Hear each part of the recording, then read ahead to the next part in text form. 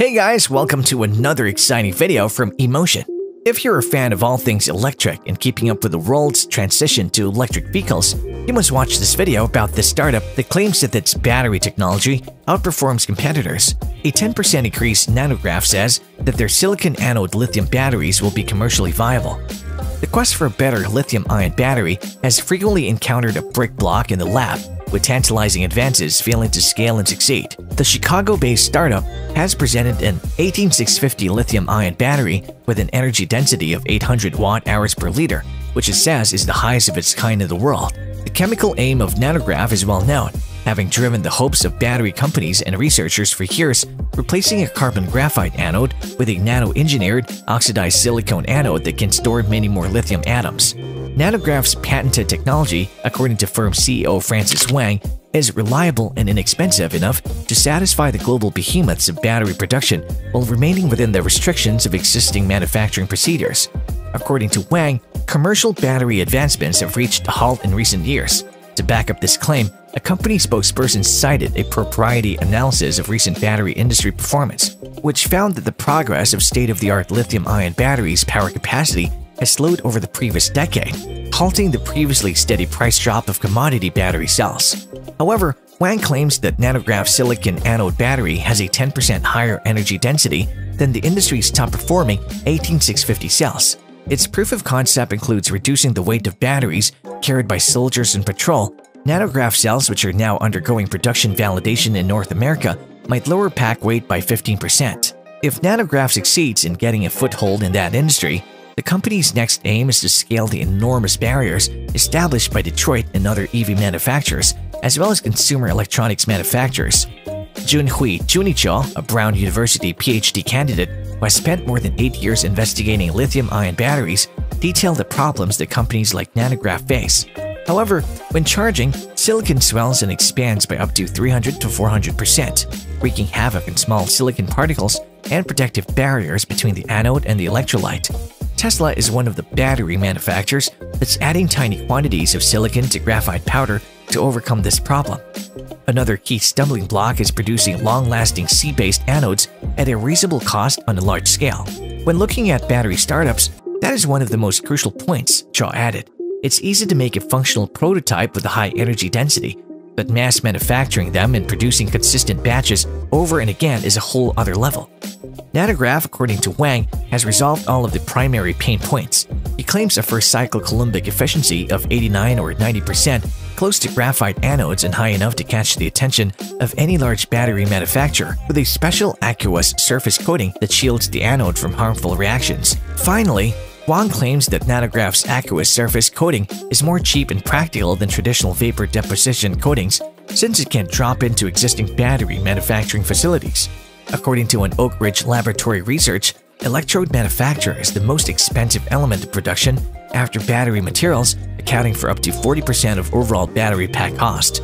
According to Wang, battery manufacturers LG Chem, Panasonic, Samsung, and CATL have attained about 5% silicon content in battery anodes but are stuck there. Graphite will gradually be replaced by silicon over time. The company presently produces 10 tons of oxidized silicon material each year in Japan, which Wang refers to as the company's secret sauce. However, NanoGraf expects to produce 35 tons per year by next year from a proposed factory in Chicago's West Loop. That would be sufficient for a small military supply, with the eventual objective of mass production and expansion into electric transportation. To get to Detroit in electric automobiles is a dream come true, Wang added, but we have to get to fighting weight first. NanoGraf declined to name its partners, but claimed it works with more than 50 firms including some of the world's most well-known consumer electronics, home appliances, and power tool brands, as well as a dozen electronic mobility strategic partners. Lithium metal or solid-state batteries, according to Cho, face fierce competition from silicon, but such technologies may have an even longer road to commercial success. Silicon's promise is undeniable until the next major breakthrough in technology occurs. It's a logical progression from the batteries we now have. NanoGraf is working on a battery chemistry material that has a higher energy density. The company's silicon oxide anode material can boost battery capacity by 12% in the 18650 form factor at a potentially commercially competitive price. NanoGraf, an innovative battery material business, said that it has discovered a chemical composition that permits previously unreachable levels of energy density in an 18650 cylindrical lithium-ion cell after more than a year of research and development.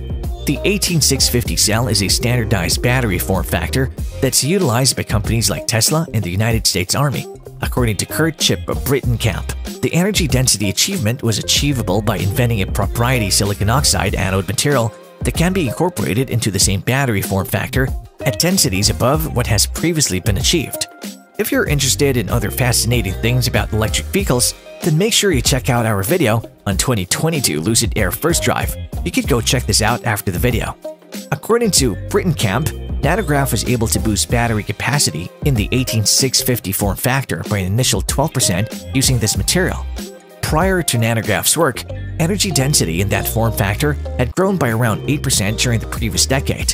The US Department of Defense provided funds for NanoGraf's research, which aimed to produce a longer lasting and perhaps lighter per cell lithium ion battery to offer US military troops with greater portable power for the equipment they rely on. The new chemistry, however, has applications beyond military portable devices, with NanoGraf stating that electric cars EVs have the most potential for most energy-dense batteries since the cell technology may deliver an immediate jump in vehicle range. Range anxiety has been a big barrier to EV acceptance in the mainstream.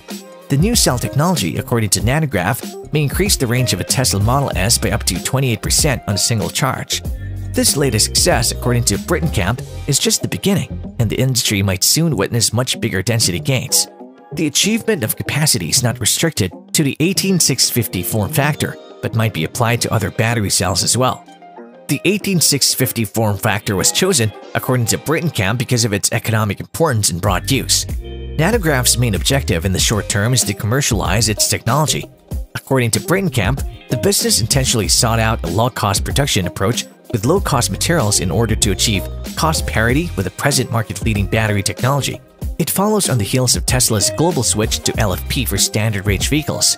Elon Musk, Tesla's CEO, has stated several times in the previous year that the company intends to switch more electric cars to LFP batteries in order to address nickel supply difficulties. Tesla has already switched to LFP cells in its China-made Model 3 and Model Y. Tesla also said last week that for the standard range vehicles, it's moving to lithium iron phosphate battery chemistry globally. It would imply that Tesla intends to transition the Model 3 Standard Range Plus built in Fremont to LFP cells as well. According to a fresh source from China, Tesla has won an order from CATL for 45 gigawatt-hour of LFP cells for next year. Tesla has ordered 45 gigawatt-hour lithium iron phosphate batteries from China's major power battery business CATL for next year's sales plan, mostly for Model 3 and Model Y cars, according to 36KR sources. Depending on the mix of regular range models, such a number would be enough to create between 700,000 and 800,000 vehicles. That's all for today. Thanks for watching the video. If you enjoyed it, please like, share, and subscribe to our channel for more such exciting content and latest updates. Until next time.